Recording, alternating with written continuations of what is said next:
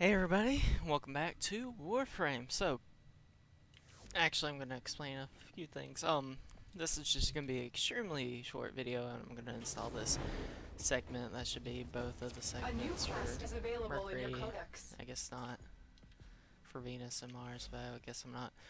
Um, as you level up your weapons and other stuff, you actually get points to your character that allows you to rank up. So, I am currently qualified because I got enough points to my Warframe and all my weapons in order to rank up. So that's why you want to rank up your weapons and switch up.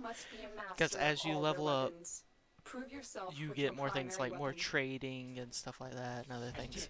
So in this kind of missions, they require you to test your skills. So like in this one, I believe it's testing my ability with my primary weapon they give you a little bit amount of time. So I shouldn't be able to use Excellent. like anything other than my primary. And it's, it's just a few ways in which I need to kill so many enemies. They actually make it real nice and easy. The very first one is usually the hardest, but after you get finished with the first mission, or with the first wave, you usually have more than enough time to finish the last two.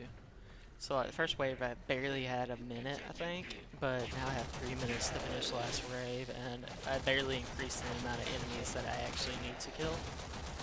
So they barely give you any time for one enemy, or for three enemies, but they give you a ton of time for however many of these are. Okay, so let me kill that shield osprey, because that's actually just going to repair the shield of these enemies, and it's going to be more annoying to deal with than it is not. Alright. And with all three of the waves done, I am done. So, and I actually leveled up. So in each of these, they, you can only level up once per day. So if I get the max amount of points to level up to my second rank, I can't actually do it. I'll have to wait till this time tomorrow before I can.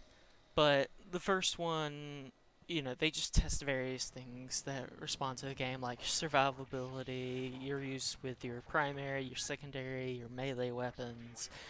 If you're hacking the console, they just give you a bunch of different things like that. Alright.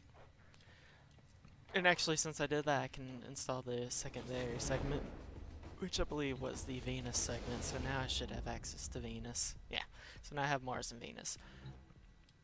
Um, but other than that, that's about it. Anyways, guys, um, actually, let me show y'all.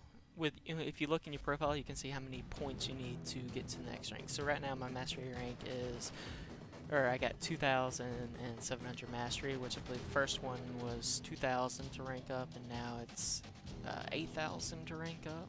So I need 8,000 more points, which would give me a total of 10,000 points.